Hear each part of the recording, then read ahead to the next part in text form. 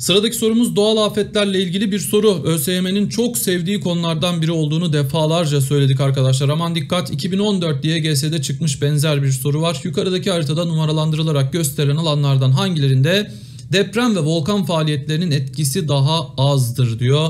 Deprem ve volkan faaliyetleri denildiğinde akla ilk gelen harita dünya levha sınırları haritasıdır. Levha sınırlarıdır, fay hatlarıdır.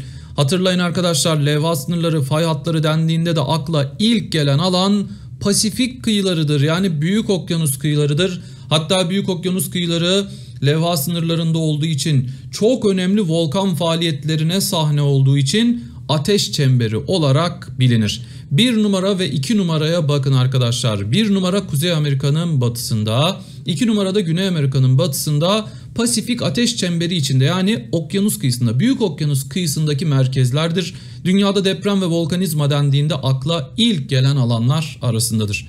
3 numaralı bölge öyle akla ilk gelen alanlar arasında olmasa da yine dünyanın önemli volkan bölgelerinden biridir. Birçok arkadaşımın gözünden kaçan bir bölgedir o yüzden dikkat arkadaşlar. Afrika kıtasının doğusunda bakın tam o 3 numaralı bölge işaretli bölge dünyanın önemli aktif volkanlarının bulunduğu alanlardan biridir.